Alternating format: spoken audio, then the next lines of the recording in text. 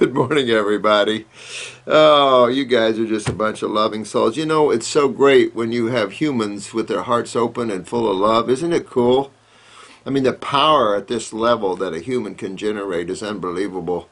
And so it's uh, really neat to see so many loving souls out there. Um, no one's supposed to know what the 13th is, so would you guys stop it?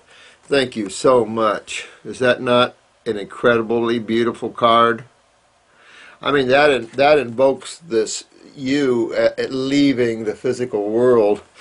Uh, of course, the dream catcher catching dreams, but thank you so much there, dears.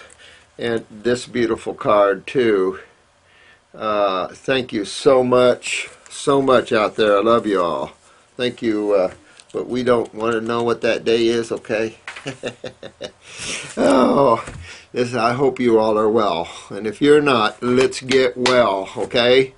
Uh, I know some of you are struggling to get through this, and uh, but you're doing fantastic. I know the Facebook is just roaring. but you know what? It's going to temper you guys in how to work with people and each, each other, and to give each other space and uh, respect and um, you know, and get on with the healing art there. So you guys are incredible. You know, uh, I have just one thing to say about don't sweat the small stuff. You know, there, there's nothing, I mean, when you look to the Supreme Being in its entirety, it's perfect. When you look at creation, you're, you're moving between two poles, like protons and electrons, you know. So, you have to just realize that and nothing there's nothing exact there's no exacting science to this although in time there just might be. Some of you real brainos out there can uh, you know put this together because I love the science and practice of um, of detoxification. It's another book that I'm working on.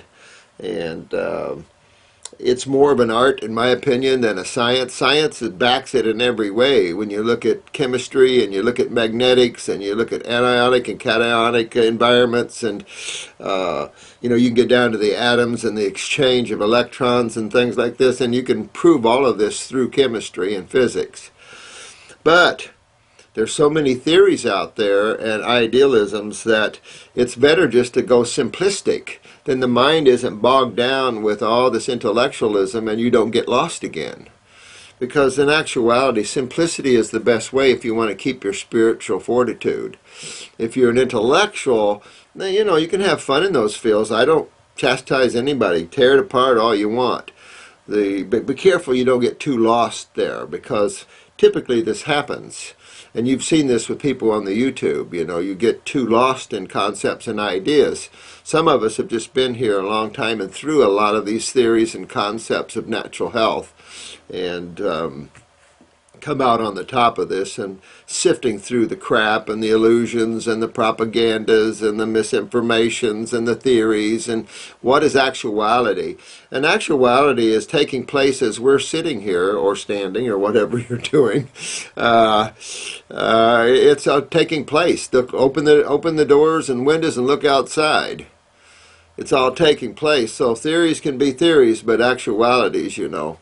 Uh, so a lot of you are seeing the actuality of detoxification, and I'm going to try to go over some of these uh, more important, uh, and not that none of your questions are, are as important as another because I love every one of them, so I appreciate that. So not to cut anyone, of course, but some people here have some some problems here and those of you if I can't get to you or I'm not getting to you please repost and put repost and that way I'll know to grab that one because it is overwhelming with the questions here. There's no question about it.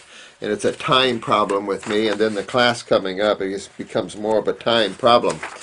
This is a, a, a, a nice um, um, email from Daniel.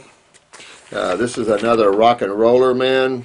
Uh, what do you got there? You got a six string there. This guy's a rock and roller. He's been uh, three months fruitarian, practically all fruit, low fat, green juices on occasion. Um, blah blah blah blah blah. Uh, he's uh, burning 24/7. I am starting to freak out. I have been on lymphatic one, kidneys, bladder one, pancreas, stomach and bowels one for a month, brain and nerve one week, astragalus single tincture like that one. uh, for one month for adrenal tincture gave me the high blood pressure symptoms.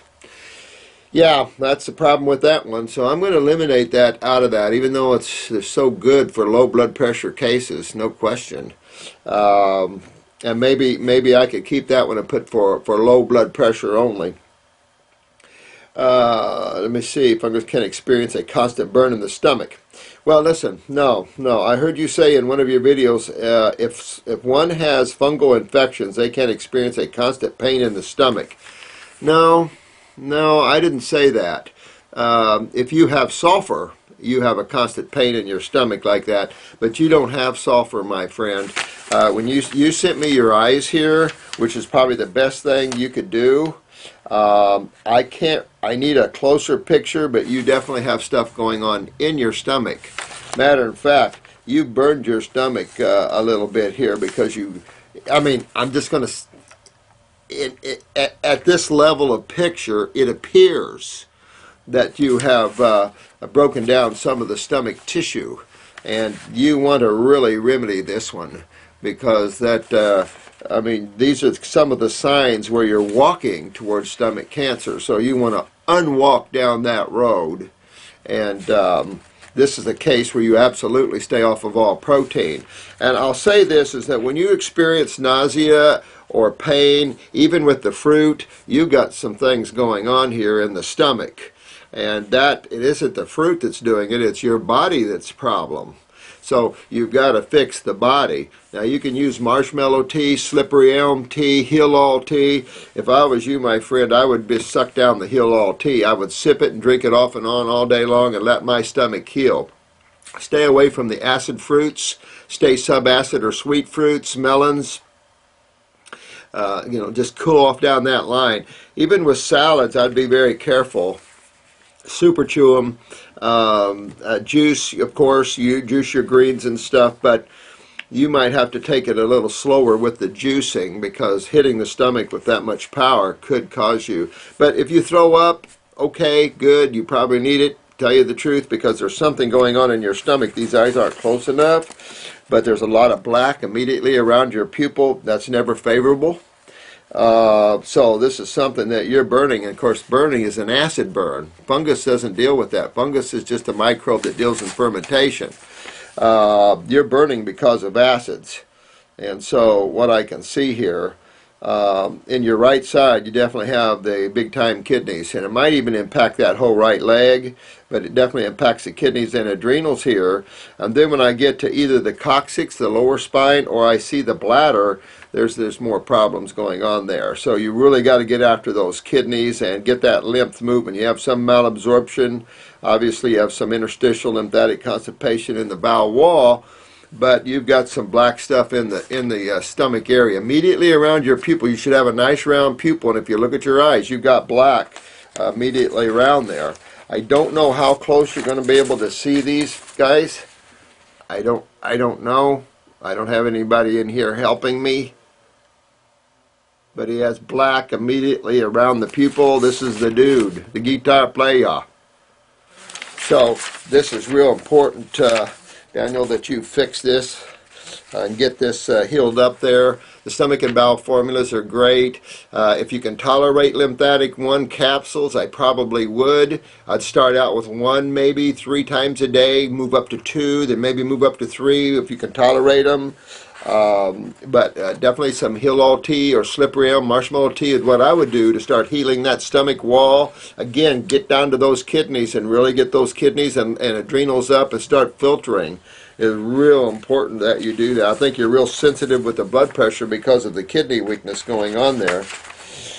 Uh, left side still same type of picture, kidneys, but then I'm picking up the groin and the hip here on that side. Maybe a little left testicle on that side a lot of uh, sinus there, and um, we're getting up toward the upper neck here on the left side. Uh, but you got pretty good genes here, so uh, you just got to move lymph, get the kidneys back in order, and fix that stomach, fix that GI tract there. Something's burnt you there.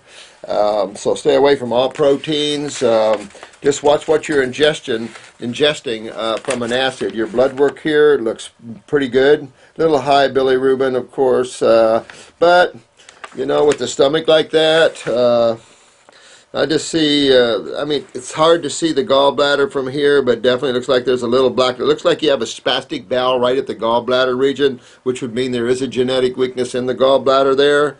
Um, so uh, that could be part of the problem. So you want to, I would also kind of pick up my liver gallbladder with a formula, at the same time go after my stomach and stuff. I don't think the pancreas is at issue so much, maybe. Uh, better eyes, closer eyes would be able to pick that up better. Creatine's not bad here, so I'm, I'm pretty good with that. All your white blood cells, red blood cells, everybody looks good there. Uh, so that's what I would do. His normal blood pressure is 104 over 65, so you know he runs low with um, with the uh, adrenals there. But you you see that. So this guy's from the UK. Uh, this is a, oh this is a Ouija bird. Hey my friend. Yeah, I just talked with you. Yeah, yeah. You thanks for the pictures and everything.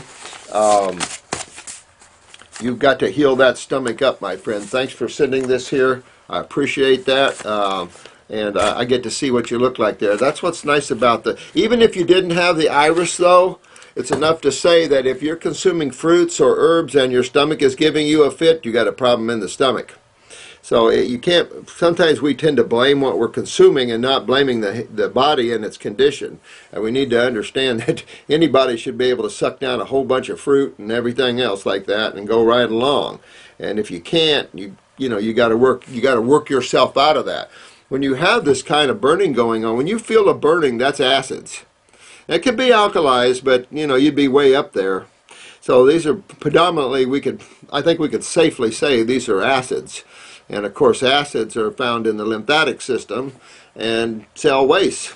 So this is uh, problematic when we uh, look at it that way and understand that this all ties in with the lymph system. Now you can burn the stomach when the pancreas isn't producing enough bicarbonate or the liver.